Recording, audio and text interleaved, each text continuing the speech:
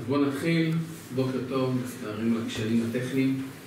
אה, אני יכול להגיד לך בנימה ציונית שעד לפני שנתיים מישהו אמר שאני אבלה בבאר שבע בערך אה, פעמיים שלוש בחודש אה, מלבד אנשים שיש לנו פה קבועים בבאר שבע, מהצוות שיש לנו פה של לינדה הייתי חושב שהוא קצת הזוי, אני יכול להגיד לכם שאני בשלושה ארבעה חודשים האחרונים הייתי פה למעלה מעשר פעמים. אנחנו בדלויט מאוד מאוד מאוד מאמינים בבאר שבע אה, שהולכת אה, להיות מרכז הייטק מהמובילים בישראל. אה, אני חושב שהוא הולך להיות המרכז המוביל אחרי תל אביב, יותר בירושלים, יש לי קצת ויכוחים זה עם אנשים אצלי בצוות שמאוד פעילים בירושלים. אני חושב שיש פה משהו מאוד מאוד יוניק, ואנחנו מאוד מאוד שמחים להיות חלק מעין הנגב. אנחנו פוגשים בדלויט סדר גודל של 60 סטארט-אפים בשבוע, יש לנו צוות של 200 איש מתוך 1,100 אנשים במשרד שפוגשים סטארט-אפים בכל מיני נגיעות, בין אם זה אנשי פיתוח עסקי, בין אם זה צוותי ביקורת, בין אם זה תמריצים, בין אם זה אנשים שעושים scouting. זה אומר שאנחנו רואים 3,000 סטארט-אפים בשנה, אה, בכל הרמות, ואנחנו בנוסף גם אה, מאוד מאוד פעילים עם כל ה ecosystem, עם אנג'לים, עם VCs, עם קורפורט VC שהיום הפכו להיות השחקן הכי משמעותי בשוק אה, מבחינת כסף, יותר מ-VCs, גם בהשקעות בשנת 2015. קורפורט VCs שמו יותר כסף מ-VCs, קורפורט VCs זה קרנות הון סיכון שמתנהגות לכל דבר בעניין כמו קרנות הון סיכון, אבל הכסף מגיע מקורפורט, קורפורט אחד, וההשקעות הן לאו דווקא השקעות שהן תומכות בפעילות של הקורפורט. בדרך כלל יש איזשהו קשר, אבל ברוב אה, הסטטיסטיקה שנעשתה בחמש שנים האחרונות, כל השקעות ברמה של 99% מהשקעות ש corporate VCs ביצעו בחברות, האקזיט לא היה מול אותו corporate ששם אה, את הכסף, אלא ההתנהגות היא לגמרי כמו VCs, אבל אנחנו עובדים גם ישירות מול ה multinational, והיום דרך אגב, כשמסתכלים על multinational, אנשי ה corporate VCs ואנשי ה multinational עצמם, הם שני גורמים שונים שמסתכלים הסתכלות שונה. ומה שאנחנו בדרך כלל עושים עם החברות האלה, אנחנו עוזרים להם בשלוש אה, רמות. הרמה הראשונה זה גיוס כסף, כי זה בדרך כלל מה שמעניין. סטארט-אפים בואו תעזרו לגייס את הכסף. רמה שנייה אה, היא לעזור להם בעצם אה, להצמיח את העסקים אה, כמה שיותר מהר, לעזור להם לחבר אותם לשותפים פוטנציאליים, ללקוחות פוטנציאליים, בעיקר כאלה שנמצאים מהצד השני של הים.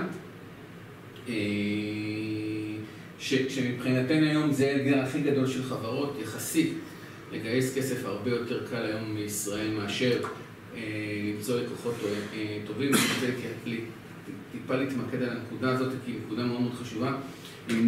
אני, במצגת שלי עכשיו מדבר על טעויות שאני, שאנחנו למדנו ש, ש, ש, שיזמים עושים במהלך הגיוס, אבל בנקודה הזאת לא ציינתי אותה, אבל אה, בזמן האחרון אני רואה הרבה חברות שהשקיעו יותר מדי זמן בלהביא לקוחות ישראלים. פגשתי לפני שבועיים חברת סייבר, צוות מעולה.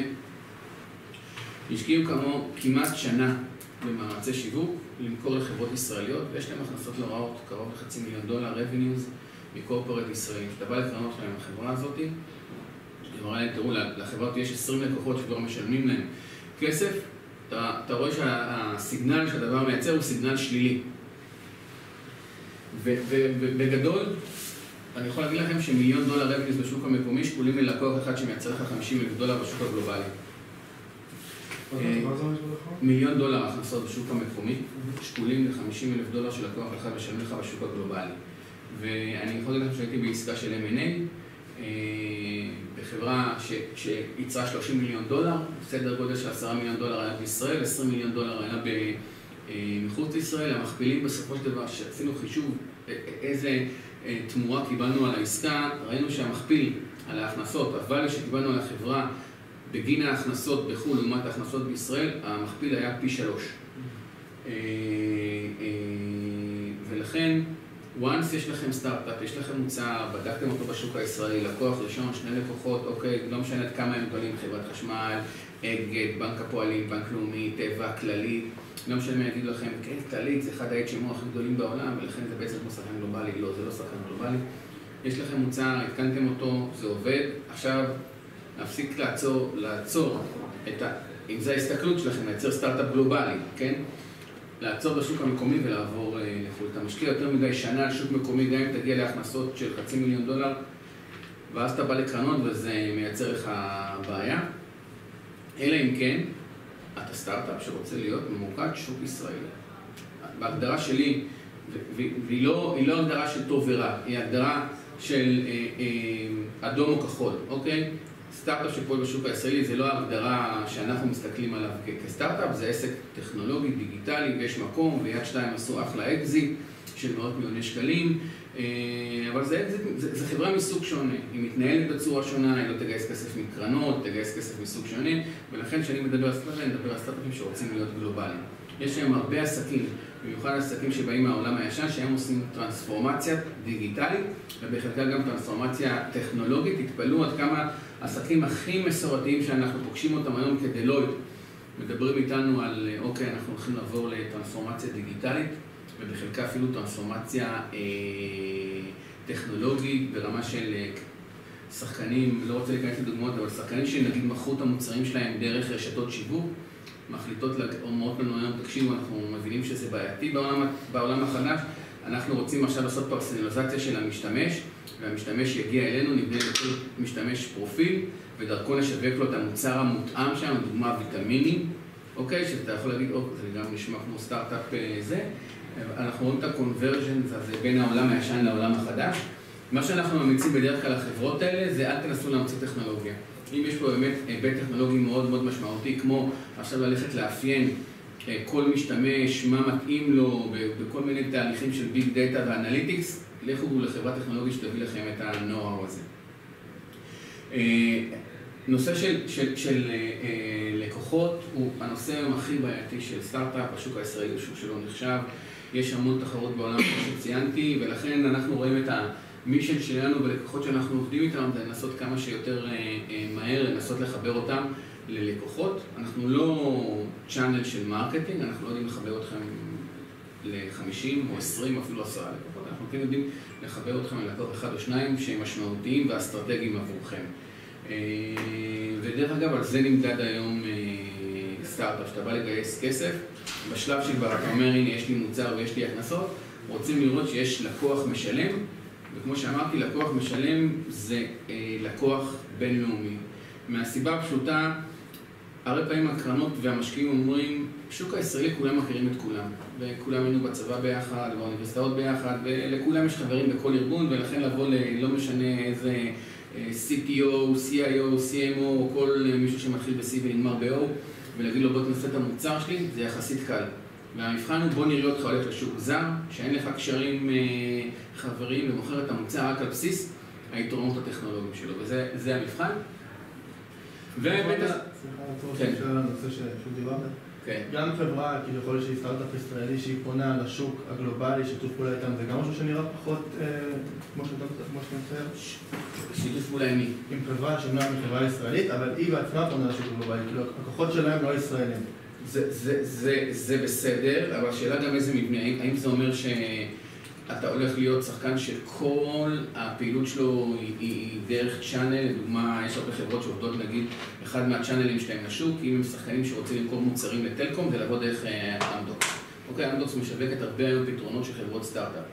אם זה אחד מהצ'אנלים שלך, זה בסדר. אם אתה אומר, אני מראש, המודל העסקי שלי זה... אני אמכור את המוצר שלי לחברה אחת שהיא זאת שתפיץ אותי. לא, זה לא, זה לא, התשובה. אם זה עם כמה, אם האסטרטגיה שלך, אוקיי, יהיה לי כמה... לא, הכוונה שלי עדיין שהוא חברה שיושבת בישראל, אבל היא פונה בעצם לשוק הגלובלי. זה פחות בעייתי. זה איפשהו באמצע? לא, לא, לא, זה איפשהו באמצע, בהתחשב בנסיבות. זה יכול להיות לגמרי לא בעייתי, וזה יכול להיות כן בעייתי, אוקיי? אה, אבל בדרך כלל זה לא בעייתי. אבל תחת ההנחה שמדובר בשחקן... מאוד מאוד אה, אסטרטגי וחזק ברמה הגלובלית, שאומר, אוקיי, באחד המוצר שלך אני רואה שזה מוצר טוב ואני מוכן לשווק אותו, כשבהמשך, along the road, אתה, אתה יש לך דרכים אחרים, אחרות אה, להגיע לשוק הזה בסדר.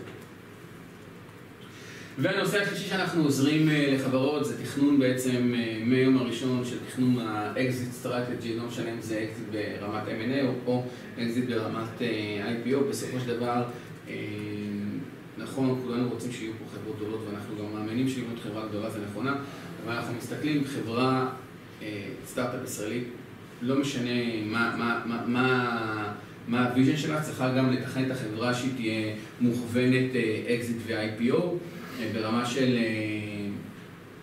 עם מי אני צריך לדבר, עם איזה שחקנים אני צריך לייצר שיתופי פעולה, מי יכולים להיות הרוכשים הפוטנציאלי שלי, למרות שזה עוד שלוש, ארבע, עוד חמש שנים, ואיך אני מתחיל לייצר איתם ממשקים כבר היום. אה, אחד הדברים שאנחנו אוהבים לעשות עם, היזמים אה, שאנחנו עובדים איתם זה, סשנים של Devil Advocate, אנחנו באים, נותנים להם לעשות פיץ' אה, ומזהים איפה הבעיות שלהם, והטעויות שאני אציג עכשיו זה מתוך אותם סשנים של, שעשינו, אני באופן אישי, אני חושב שעשיתי מעל, לא יודע, 2,000, 3,000 סשנים כאלה עם חברות, ויש, אתה רואה טעויות שהן חוזרות תמיד. הדרך, אני בסדר מרכז אותם לעשר אה, טעויות. אה, בעיקר עוד פעם טעויות שהן סביב, אה, סביב גיוס. ואיך מגיעים לגיוס עם איזשהו פרפקט פיץ'. עכשיו אנחנו יודעים, סקר שנעשה על ידי ביל גרוס, שהוא אחד מהמשקיעים המובילים בסיליקון וואלי, אמר אלה החמישה דברים שצריך לזהות על מנת לזהות בסטארט-אפ מוצלח. נושא של טיימינג, אה, מתי מגיעים לשוק, הצוות, הרעיון, ה business model וה funding. אוקיי, בואו נדבר קצת על הטעויות של נושאים של funding. אה, טעות הראשונה שמחולקת לשתיים זה טעויות ברמת הצוות. אוקיי, אה, הרבה פעמים אנחנו פוגשים, אני פוגש צוותים, ואתה רואה שהצוותים ביחד הם 1 פלוס 1 שווה 1.5.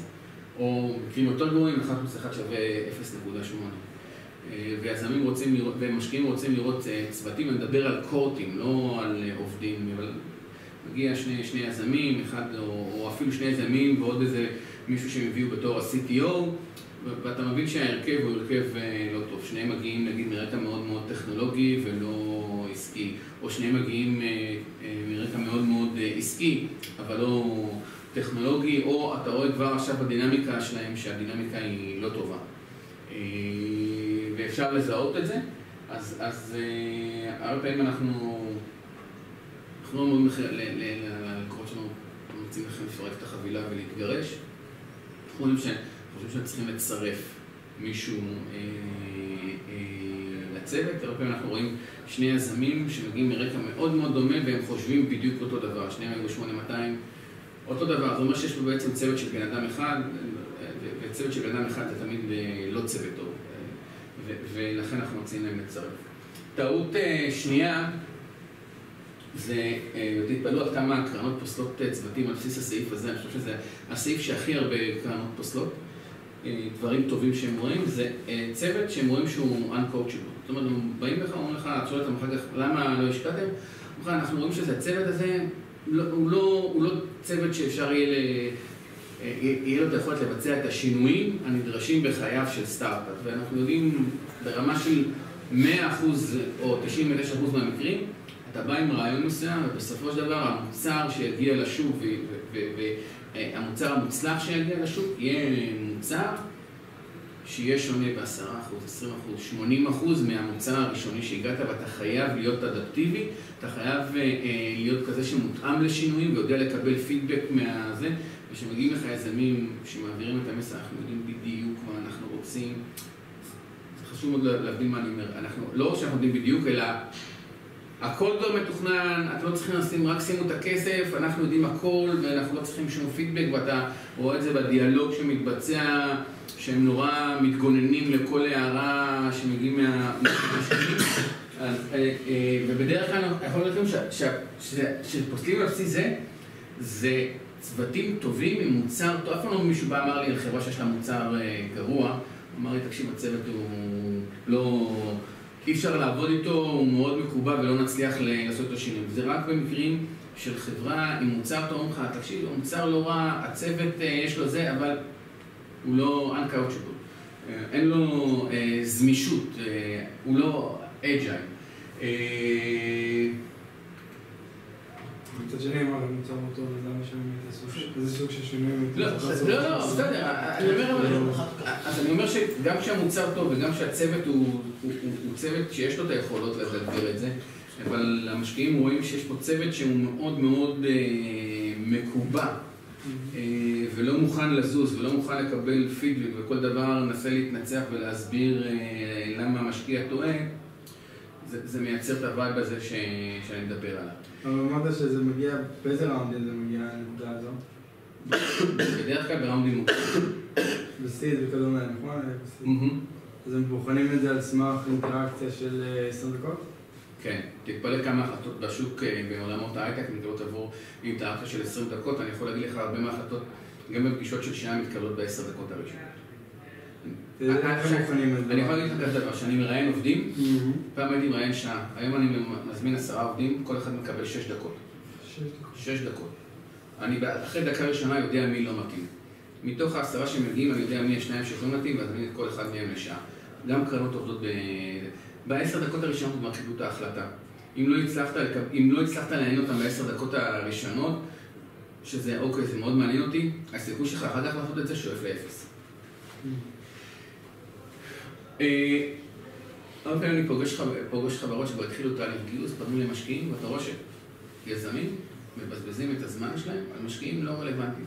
לא רלוונטי מבחינת השלב, לא רלוונטי מבחינת הסקטור והוורטיקל שאתה פועל, לא רלוונטי כי יש להם כבר דברים מאוד מאוד דומים, והסיכוי שהם ישקיעו בעוד משהו מאוד מאוד דומה הוא מאוד מאוד אה, אה, קלוש, ושולחים ונפגשים, כי חלק מהקרנות, יש להם השקעה בחברה, לא יודע מה, בתחום של אדברטייזינג אה, בעולמות המובייל, מישהו בא להם רעיון דומה, מעניין אותם, רוצים לשמוע, אולי זה יעניין אותם, משהו חדש, והם וייפגשו איתכם, אבל, אבל מישהו מבחוץ יודע בוודאות זה לא יסתיים בהשקעה, הסיכוי שחברת, ש, שקרן או שמשקיע ישקיע משהו מאוד מאוד דומה שהוא השקיע לאחרונה שואף אה, אה, גם אה, לאפס, ולכן חבל לבזבז, אה, לבזבז את הזמן. אה, בטח לקרנות שכאילו, כשאתה בודק, כן, הם אומרים שהם עושים גם אה, סיט. כשאתה בודק אבל באמת מה הם עשו, הם קיימות 6-7 שנים עשו שתי השקעות סיט. חבל לבזבז את הזמן. בתחום של סייבר נגיד, על כל משבצת בסייבר יש לך לא חברה אחת, כמה, כמה חברות, אז כאילו איך זה עובד, בדרך כלל גם טוביסים ועושה בתחום של, תחום של, סייבר, אה, תראה, סייבר, אני אומר די אישית, סייבר זה התחום כרגע שהוא הכי בועתי במדינת ישראל, כמות החברות בישראל היא לא הגיונית, לפי סטטיסטיקות אה, אה, שפרסם, שפורסמו מדברים על זה שמתוך 5,000 אה, חברות סייבר בעולם, בין 2,000 ל-3,000 נמצאות בישראל. אוקיי? זה מוטרף בכל אה, קנה מידה. אה, אני יכול להגיד לכם שבסייברטק שהיה לפני שבוע, אני הסתובבתי, ומחצית מהחברות שהיו שם היו חברות פח. אין לי הגדרה אחרת, אין לי מושג מה הם עושים שם. הם עושים, כל אחד בא עם איזושהי נישה של הנישה שיש חברות ענק שכבר מציעות פתרון יותר גדול. הסיכוי שלהם להצליח שואף לאפס. לא, אין לי מושג למה הם מבזבזים את הזמן, אבל דווקא זה בועה לא נוראית שתתפוצץ, אותם אנשים ימצאו מקומות, יש הרבה ארגונים היום שמחפשים אה, אנשי סייבר ולא מוצאים, כי יש עודף אה, סטארט-אפים, אני יכול להגיד לכם, אנחנו נמצאים עשר משרות פתוחות בעולמות הסייבר, יש לנו צוות של 30 איש שנותן שירותי סייבר, מאוד קשה לנו לגייס. שיהיה את הבועה הזאת, השוק יעשה סינון טבעי, אה, ואותם אנשים ילכו ל corporate שמחפשים היום. אני יכול להגיד לך שקרנות כמו גלילות שהייתה, הוקמה מוכוונת אה, סייבר, היום כמעט לא עושה השקעות אה, סייבר, ועדיין אבל יחסית אה, קל, כל מה שאתה צריך היום במדינת ישראל, וגם במיוחד שיש כסף שמגיע מחו"ל, בשביל לגייס בעולם הסייבר, זה בסך הכל לעשות מצגת שמופיעות בארבע ספרות, 8200. once הופיע 8200, אתה כנראה תגייס. ROI, בוא נחכה שנתיים, שלוש, נראה מה יהיה. אה, אני חושב, יהיו הרבה אקזיטים בעולמות הסייבר, ביחס לכמות החברות, זה הסיכוי היום הכי נמוך. אם מסתכלים היום, דרך אגב, על חברות, לא יודע אם יש לכם בראש באיזה vertical יש אה, אה, אחוז האקזיטים והרכישות הכי גבוה, איזה תחום? רעיון? איך? פרסום? לא, לא פרסום. מובייל? לא. גיימינג? לא. הכי לא סקסי. גיל שלישי? לא. semiconductor. למעלה מ-50 אחוז. הקמת חברת semiconductor, גייסת אירם 50 אחוז שתעשה בזה. אה, פשוט כי אין הרבה חברות בעולם, זה יתרון שיש לישראל לעולמות הסמי קונדקטור, ועוד פעם, זה בגלל שאין הרבה חברות, אוקיי? יש מעט מאוד חברות, למעלה מ-50% מהחברות נרכשות. אה, אני חושב שסייבר יהיה אחוז אה, אחד. מהנמוכים. אה, עוד בעיה זה, אחרי שטייפת את רשימת המשקיעים שאתה פונה אליך, שאתה פונה אליהם, הרבה פעמים אנחנו רואים שיזמים, מה שהם עושים, כמו שצריך לעשות, מדרגים מי המשקיעים הכי רלוונטיים, מי המשקיעים הבינוניים ומי המשקיעים הפחות רלוונטיים, עדיין במתחם הרלוונטיות, ומה הם עושים? מתחילים מהכי רלוונטיים. אתה אף פעם לא מתחיל, כשאתה פונה, בטח אם אתם משקיעים של פרסט טיימר, ובטח אם זה, אם זה סיט, אף פעם לא מתחיל מהמשקיעים הכי רלוונטיים, כי ככל הנראה יש דברים שאתה צריך לתקן, במצגת, במוצר, יש עוד דברים קטנים, איזשהו זה, אתה צריך לעשות איזה שינוי במודל העסקי, חשיבה, לא יודע מה, להביא לקוח אה, מאיזשהו אה, מגזר מסוים. לכן תמיד מתחילים מאיפשהו, מי, מי נמצא באמצע, בבטן של הסטארט-אפ מהמשקיעים, שיכול להיות שהם ישקיעו, אבל גם אם תשרוף אותם בגלל שאתה באת כרגע לא בשל, לא שרפת את המשקיעים הכי אה, טובים שיש לך, אה, פוטנציאלית, ו... אה, להפוך משקיע שאמר לך לא לכן, זה סוג של אה, נס. once משקיע אמר לך לא, באותו גיוס הוא לא יגיד לך כן, יכול להיות בהמשך. אמר לך לא כרגע, ועשית התפתחות, והמוצר, ויש מכירות, ובלה, ו... אז הוא יגיד לך כן. אבל once אמרת, אתה עכשיו יוצא לגיוס של סיט של חצי מיליון דולר, מיליון דולר, המשקיע אמר לך לא, הוא לא יגיד לך כן. אה, ולכן מאוד חשוב לא להתחיל עם המשקיעים שהם בטופ פריורטי. אה, הרבה פעמים, אני אתן לכם דוגמה מהעולמות תוכן שלי, כי נורא קל להסביר, אני מראיין אנשים, ואני אומר לעצמי, איך יכול להיות שבשנת 2016 אנשים באים לרעיון שהם פחות מוכנים לרעיון ממה שאני באתי ב-1998, שהאינטרנט שימש בעיקר לצריכת פורנו. אוקיי, זה מה שהיה ב-98 באינטרנט בגדול. אנשים באים לא יודעים לאן הם באים, הם שמעו, כן, זה לא זה ככה וככה, הם לא, הם לא מכירים מי אני, למרות שהם היו משקיעים חצי דקה בלינקדאין וזה, הם מוצאים את כל האינפורמציה. וגם משקיעים מאוד לא אוהבים שהם מגיעים והם שואלים כאילו שאלות בסיסיות, הם רואים שהיזם לא עשה חקירה מעמיקה, מי הם, מה הם, אה, זה מאוד מאוד אה, קריטי, כי הם רואים את זה בתור, אה, אוקיי, הצוות הזה לא מוכן, גם כשהוא יבוא לפגישות עם לקוחות פוטנציאליים, הוא, לא, הוא, לא, הוא לא מתאמץ, הוא לא מעמיק, הוא לא יסודי. תבואו לפגישה בטח עם, עם שחקנים סדרתיים, אני לא מדבר על אם יש לכם איזה אנג'ל שהוא לא יודע מה, יהלומן, אז אין מה לבדוק. אבל אתם באים לאיזושהי מייקרו VC, CVC, תבואו מוכנים מי האנשים, מה הם השקיעו לאחרונה, במה הם משקיעים, סופר קריטי. קצת על המצגת עצמה. מצגת צריכה להיראות טוב. אין לכם מושג איך, אה, כמה פעמים הייתי עם מצגות אה, שהיו גבורות עם מוצר טוב שזה השפיע, ומצד שני, אה, אנשים שלא האמנתי שהם הצליחו לגייס רק בגלל, אני מדבר על סין, אוקיי? זה פחות רלוונטי בסביבים זה, רק בגלל שהיה להם פיץ' טוב ומצגת טובה, זה נתן להם, לא יודע מה, אני לא יכול לכמת את זה, 20-30 אחוז הגיע מהאלמנט הזה. אם אתה בא עם מצגת רעה, אתה מפחית את האפשרות שלך לגייס בצורה משמעותית, ומצגת זה, זה לא רק המצגת עצמה, אלא גם המלל אה, שנלווה. אמרתי, עשר דקות ראשונות הן קריטיות. הרבה פעמים אני יושב במצגת, והיזמים מדברים, מדברים, ואני מסתכל עשר דקות ואין לי מושג מה החברה עושה.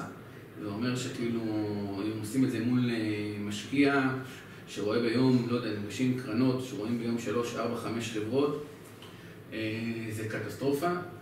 צריך להשקיע במצגת, גם אם זה אומר לשלוח את זה לעיצוב אה, גרפי חיצוני, להימנע מכל מיני שקפים ערוסים ב... לא יודע, פעם, איזה יזמים שבאו לי בעיקר בדברים שיש יותר מדי אנשים מעולמות הפיזיקה. דרך אגב, גם פה בפיצ'ים היו כמה חבר'ה שבאו עם, עם שקפים שבכל שקף היה, לא יודע, 200 מילה, 200 מילה בשקף זה קטסטרופה.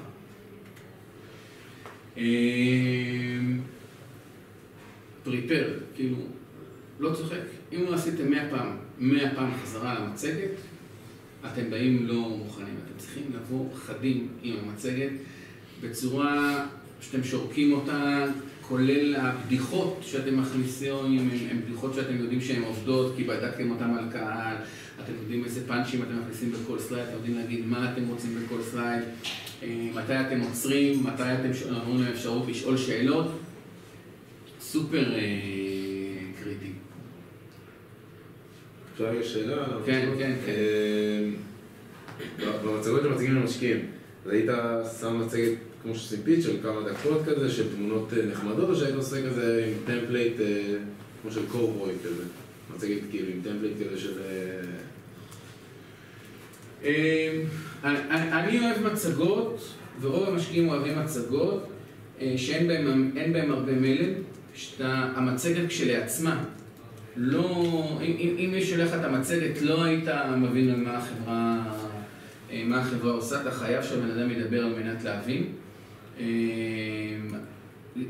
המצגת שמציגים זה לא אותה מצגת ששולחים למשקיע באימייל ברמה של שלח לי, לא יודע מה, את ה-executive summary, או שלח לי את ה-business plan שלכם, או מצגת טיפה יותר רחבה, זה לא אותה מצגת. אוקיי, מצגת שמציגים בפגישה היא מצגת ש, שאם אתה שולח אותו רק לבן אדם, הוא לא, הוא לא מבין הרבה. זה, זה, כי אתה צריך להיות חלק דומיננטי. אתה צריך שהמצגת תלווה אותך ותתמוך בך ועוד תגנוב לך את ההצגה, שלא אנשים יושבים במצגת, הם מתחילים לקרוא את הסלייד. גם ברמת שאין בה יותר מדי, אמרתי, כמו שאמרתי, אין בה יותר מדי אה, חומרים, אתה מעביר את החומר בעצמך. מצגת שהיא ארוכה מדי, אוקיי? כאילו, בכלל אנחנו הופכים להיות אנשים הרבה יותר אינסטנט. אה, רבע שעה, עשר דקות, צריך להבין במה מדובר, לא יכול לדבר באיזושהי הקדמה ולספר איזה סיפור שנסעת לנפאל ובנפאל ורצית להתקשר להורים שלך וההורים שלך בדיוק היו בחו"ל, אני מדבר כל מה שאני אומר, אומר אה, זה, ואחר כך אתה אומר סיפור עשר דקות בשביל להגיד, אה, ולכן הגעתי לצורך שצריך לייצר איזושהי מערכת שמאפשרת לך לתקשר ללא שום קשר לזמינות של אינפרסטרקצ'ר. אפשר לעשות את זה בחצי דקה, לא בעשר דקות. אה, אנשים שרואים מצגות, רואים מצגות הרבה, הם רוצים להבין כמה שיותר מהר, בצורה טובה, אבל uh, המצגת צריכה להיות בגדול סדר גודל של חצי שעה, 45 דקות זה כאילו במצגת הארוכה, חצי שעה מצגת, ועם השאלות, פגישות היום צריכות להיות 45 דקות, uh, בטח פגישות ראשונות עם uh, משקיעים.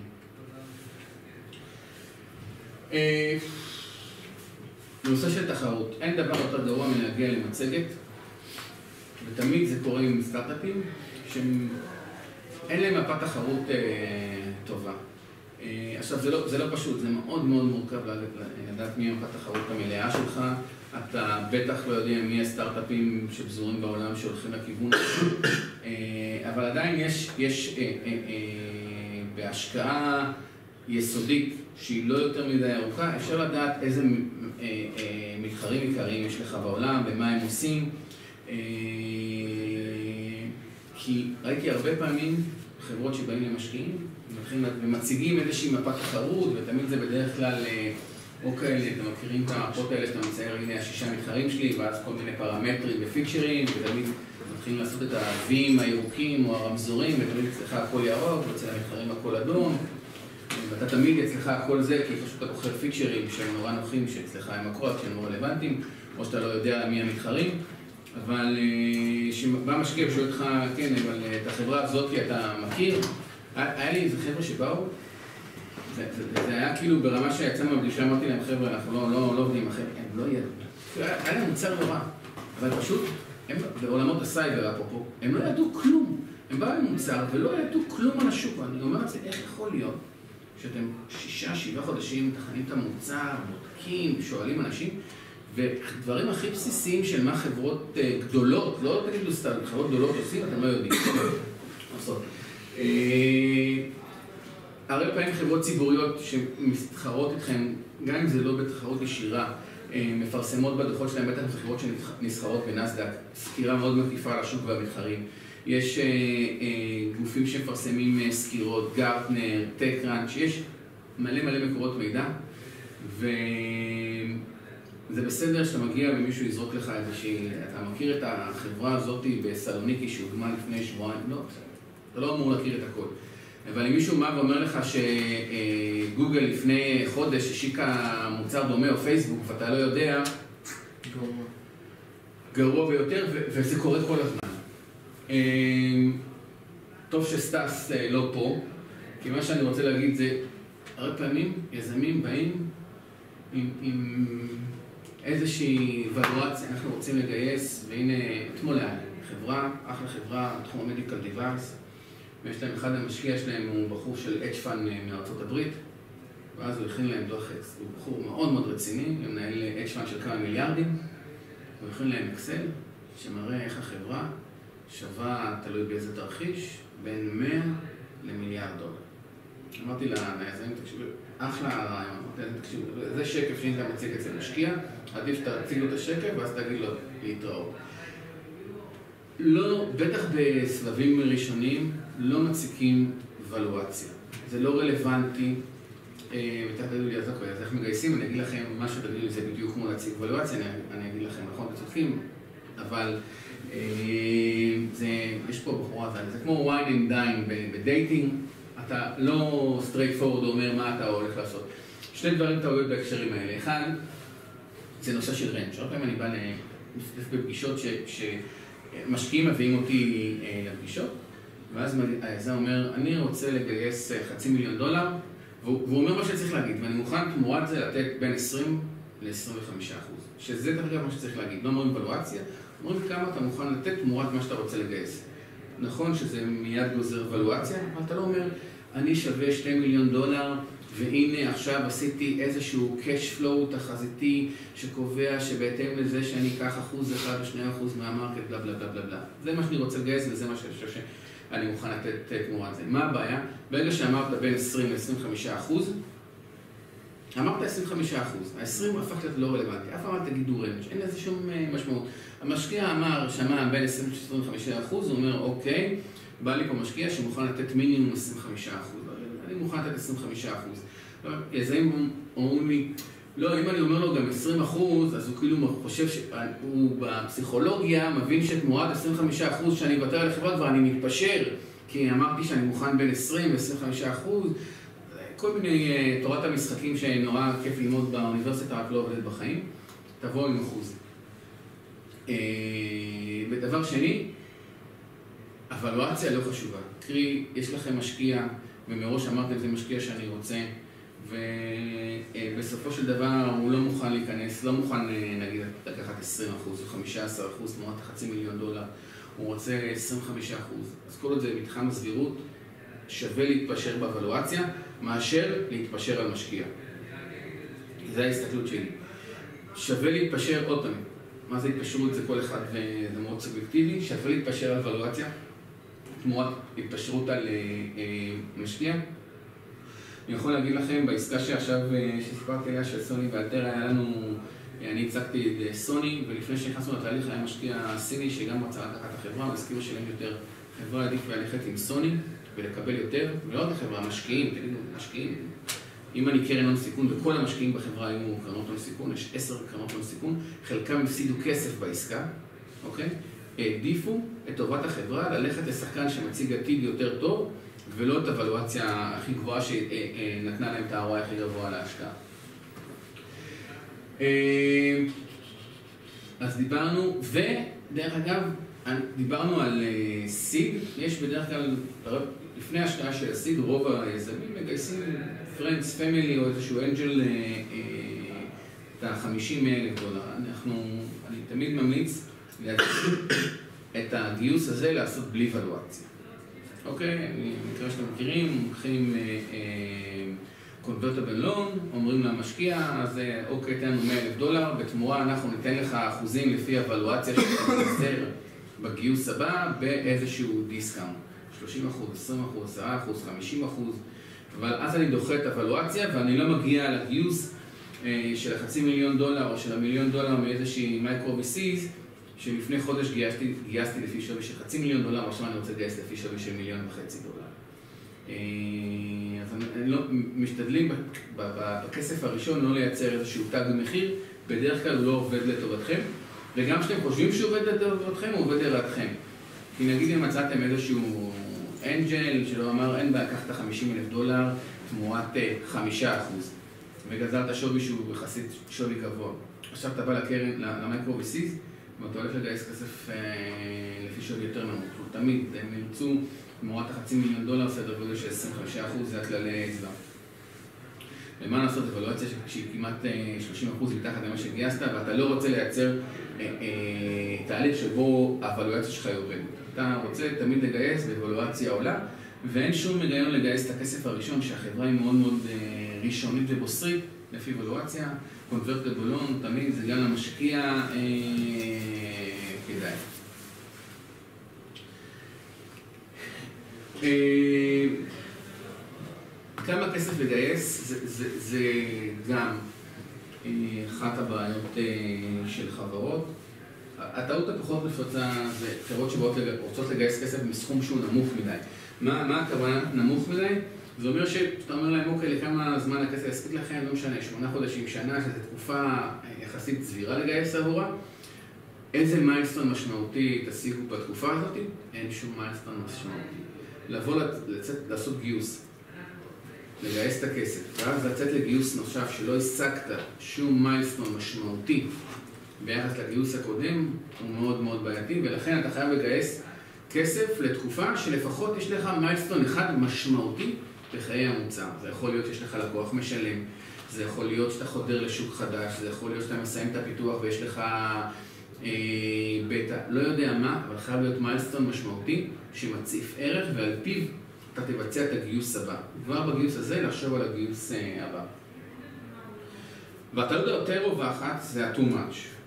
ונכון, כולנו היינו רוצים שעכשיו יבוא משקיע ויגיד לנו, הנה יש של 4 מיליון דולר ויש לכם שנתיים וחצי שקל, אתם לא צריכו לגייס יותר, ולכו ל-WeWork והכל, אה, קחו משרדים, הכל טוב ויפה. אה, זה, החיים לא עובדים ככה. ומאוד קשה לגייס בשלבים ראשוניים לתקופה שהיא יותר משנה. הרבה פעמים יזמים באים ואומרים לי, אנחנו רוצים לגייס 2 מיליון דולר, אני אומר איזה תקופה? אומרים לי תקופה של שנתיים. מה יקרה בתקופה של השנתיים? אומרים לי לפחות חמישה מיילסטון משמעותיים שיקרו. אני אומר למה אתם רוצים לגייס עכשיו כסף לשנתיים? שני דברים. א', אם אני משקיע, אני בחיים לא רוצה לקנות סיכון של שנתיים. קח עכשיו חצי מיליון דולר. זה, זה המיילסטון שאתה אומר שיקרה עוד שמונה חודשים. תחזור עוד שמונה חודשים, דבר איתי. אם הגעת אליו אני אשקיע יותר, אם לא, לא מוכן לסכן יותר. וגם אם אני מוכן להשקיע את הכסף, אני הרי אשקיע לפי אבלואציה של היום. אם אתה מגיע, בתחילת הדרך שאתה מגיע לכל מייסטון משמעותי שאתם מגיעים, מכפיל את שווי החברה פי 2, פי 3, פי 4. ולכן האחוזים שאתם תיתנו יהיו אחוזים הרבה יותר אה, נמוכים. ולכן יש פה איזושהי אה, אופטימיזציה שחייבים לעשות בין לגייס את התקופה מספקת שאתה מייצר milestone, ומצד לא, לא, שני לא לגייס לתקופה יותר ארוכה. אה, אז זה מאוד מאוד אה, קריטי. וצריך, סביב זה דרך אגב, סטאס תדבר איתכם, הנושא הזה של business plan הוא מאוד חשוב ברמה של, לא בשביל מה של להציג להם, למשקיעים, איך נראה P&L שלכם עוד חמש שנים, כי כולם מבינים שהוא לא רלוונטי. זה רק איזושהי תחזית. אה, אבל כן לראות בשנה הקרובה כמה כסף אתם צריכים, כמה מפתחים אתם הולכים לגייס, איפה אתם הולכים לשבת, מה ההוצאות שלכם יהיו ומה אתם הולכים להשיג.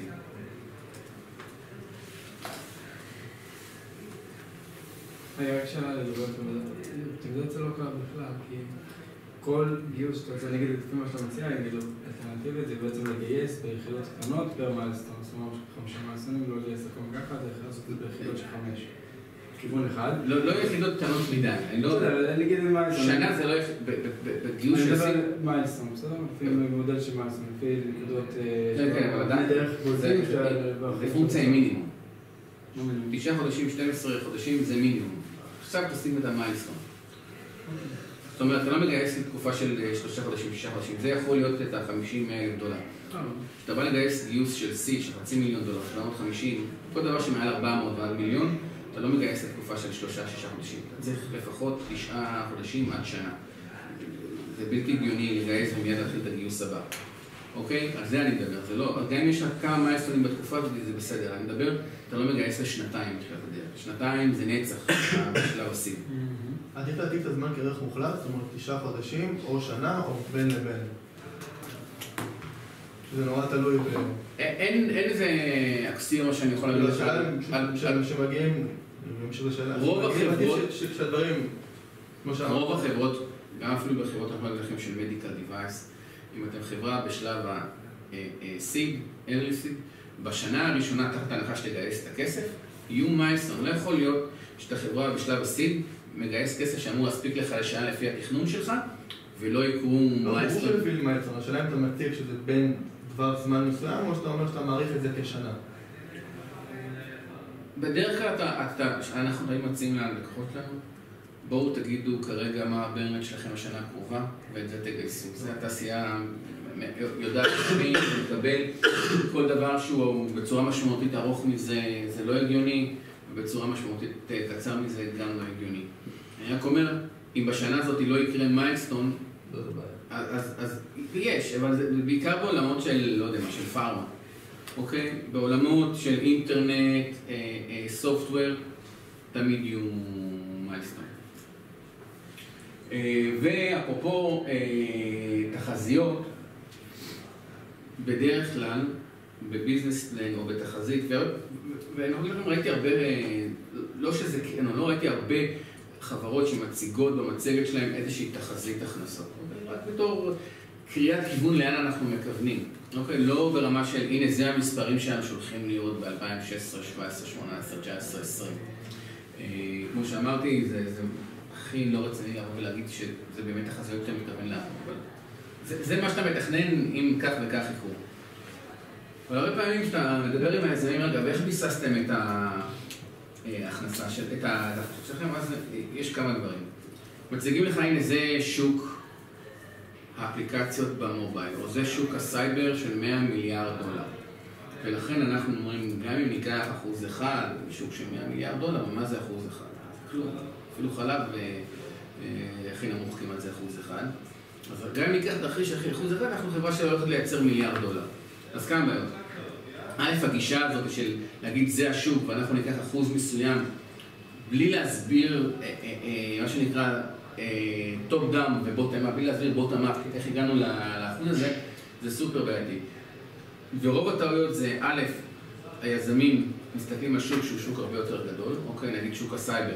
יופי שוק הסייבר. בוא תגיד מה אתה עושה בשוק הסייבר ומה השוק הרלוונטי. או אפליקציות. יופי שאתה חברת אפליקציה כמו מה אתה B2B, B2C, אה, באיזה תחום, מה ה-addressable market שלך, ולפי זה תגזור. וב' כאילו, אין כזאת אמירה, יש לנו מוצר, ואנחנו נשיק אותו, בטוח ניקח אחוז מסוים מהשוק. למה?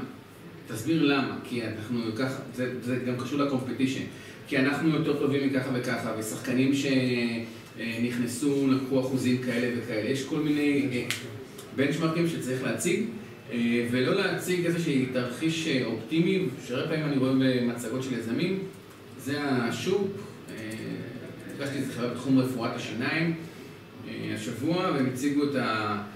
את ה-addressable market שלהם בתור אה, אה, כמה שוק אה, רפואת השיניים מגלגל. אבל כאילו, אתם מטפלים בהיבט של חברה לא, הם, הם טיפלו משהו בפתרון מאוד מאוד מגניב ויפה בתחום של תקצור שיניים. אז כאילו, מה רלוונטי שתלים, מה רלוונטי אישור שיניים? 80% מהשוק שהצגתם, שזה השוק שאתם תוקפים, הוא לא רלוונטי בכלל, כמה המוצר שלכם טוב, ועכשיו יופי, מצאתם את השוק הזה, בשוק הזה יש את המשחות שיניים שאתם לא מחליפים, אז למה אתם מכניסים גם את המשחות שיניים בפנים? אתם רוצים להחליף את המברשת, אז בואו נדבר רק על שוק מברשות השיניים ולא שום שוק אחר שאתם אה, מציגים. אה, כן. הבעיה היא איך אתה מגיע לנתונים האלה שנשארו מפולחים, שזה לא נגיש. א', ננסה לראות אם יש market research ויש המון היום market research, יש חברות שעושות market research, לפעמים אה, צריך לקנות market research, כי קשה למצוא industry שלא תמצא בו market research מאוד מאוד טוב ואיכותי בתשלום. עבור חלק ניכר מהזה, ה market research הזה הוא גם לא בתשלום, יש חברות ייעוץ, יש אה, גופי אה, השקעה, יש חברות שעושות ניתוח של שווקים. שהרבה חומרים שלהם אה, אה, מפורסמים. אה, אמרתי, חברות ציבוריות שמתחרות באותו דומיין שלך, הם בדרך כלל מספקים את הנתונים האלה, ואם צריך קונים מחקר.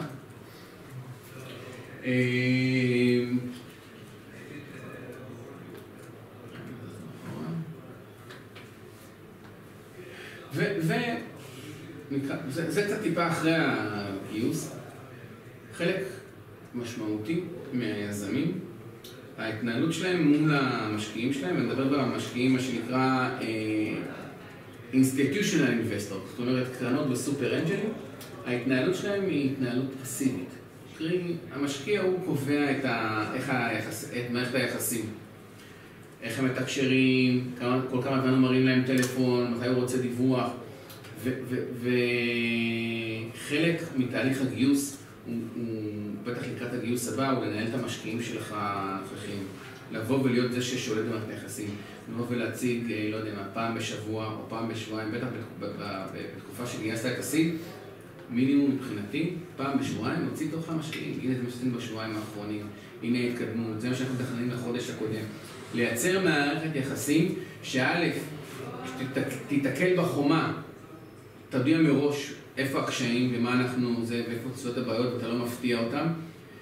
אה, זה, זה גם אה, אה, גורם לך להיות הרבה יותר רציני מול המשקיעים, זה, זה, זה גם גוזר התנהלות מסוימת שגם משפיעה על איך אתה מתנהל ברמה העסקית מול לקוחות. זה גם, אנחנו רואים שמשקיעים, שיזמים מהסוג הזה, הרבה יותר קל להם לגייס מאותם משקיעים את הגיוסי המשך. אה, וזה גם עוזר לך שאתה מגיע לנקודות שלא צפית ואתה נתקע ואתה צריך את העזרה של המשקיעים. אה, ולכן אנחנו ממליצים בחום לכל היזמים שלנו אה, להיות אלה שמנהלים את מערכת יחסים עם המשקיעים ולא לתת למשקיעים לנהל את מערכת יחסים. כי המחשבה של, יש לי משקיעים, עכשיו הוא לא מציק לי ופעם ברבעון או פעם בחצי שנה יוציא לו איזה דיווח, זה מחשבה לא נכונה. באופן עקרוני, לא משנה מה תעשו, אם, אם, אם תהיו, תישארו בעולמות של, ה, אה, של ההייטק ותהיו יזמים ותקימו סטארט-אפים, יש שלושה צירים שלצערכם תמיד תתנהלו על השלושה צירים האלה בכל אה, נקודת זמן. אחד זה ציר של, אה, של הטכנולוגי, כי כל הזמן אתה, אתה ממשיך לפתח את המוצר ולא משנה באיזה חיים, בשלב בחיי הסטארט-אפ או החברה אתם נמצאים, אתם חייבים להתנהל על הציר הזה. הציר השני הוא הציר העסקי. אוקיי, יש את הציר הטכנולוגי, יש את הציר העסקי, ממשק מול לקוחות. תמיד אתה בתהליך אינסופי למצוא את הלקוחות הבאים. והציר השלישי זה הציר הפיננסי, הגיוס אה, כספים. ותמיד, אלא אם כן נרכשת או עשית IPO וגם עשית IPO לפעמים זה ממשיך, אתה מתנהל בציר הפיננסי. אתה לפני גיוס ונערך לגיוס, אתה בתוך גיוס, ואתה אחרי גיוס ומתחיל אה, לנהל אה, אה, איך אתה הולך לשרוף את הכסף. שלושה צירים, טכנולוגי, עסקי, פיננסי, שאתה תמיד צועד עליהם, ולכן המחשבה של אני אגייס שנתיים ואז יהיה לי שקט זה, היא מחשבה נכונה. ולסיום, הצגתי שאלה החמישה קריטריונים להצלחה של סטארט-אפ, אז סתם מעניין אותי מה אתם חושבים הקריטריון הכי חשוב. טיימינג. כן. בצוות. לא רע, כי זה הסקר שנעשה, טיימינג. אה, נבחר לקריטריון הכי חשוב, ו funding, הקריטריון הכי פחות חשוב. אני באמת אה, חושב ש funding... למה? להצלחה, שלקחו אה, את כל החברות המצליחות ועשו השוואה מול חברות שלא הצליחו וניסו לבודד את האלמנטים האלה בחברות האלה, גילו שטיימינג היה הגורם הכי משמעותי. יש עוד הרצאה ב-TED, כן, ביל גרוס. כן. ביל גרוס. זה שקף של... disclaimer, זה לקוח מהמצגת שלו על הנתונים. אה, אה, טיימינג אה, הגורם הכי קריטי, אני יכול להגיד לכם, יש לי כמה לקוחות מאוד מאוד היום מוצלחים, אבל זה חברות שהן כבר בנות חמש, והם היו צריכים להיות ככה ב mode כזה יחסית שקט, זה, כי פשוט באו עם מוצר שקצת הקדים את השוק, בעיקר בעולמות של 3D, לאו דווקא print, לא, לא, לא דווקא printing, אבל 3D בעולמות של mobile, אה, ודברים של virtual reality ו augmented reality, חברות שכבר הוקמו לפני כמה שנים, ופשוט הם לא הצליחו, כאילו גייסו פה ושם ושרדו עם טכנולוגיה מאוד מאוד טובה במשך אה, כמה שנים טובות, רק בגלל שהשוק פשוט לא, אה, לא צלח. יש לי כמה שגם לא, לא צלחו וסגרו, ויש לי חבר'ה שרק עכשיו מצליחים לפרוץ, למרות שהם קיימים כבר, לא יודע מה, חבר'ה. לקוח אחד בחיים שש שנים. שהרבה פעמים כשאתה בא למשקיעים ואומר להם אני חברה בת שש שנים ולא עשיתי כלום כמעט חוץ מלפתח את הטכנולוגיה אה, וגם לא גייסתי הרבה, זה איזשהו סיגנל אה, שלילי. אבל הרבה פעמים זה נובע בגלל טיימינג. שאלות. חוץ ממך.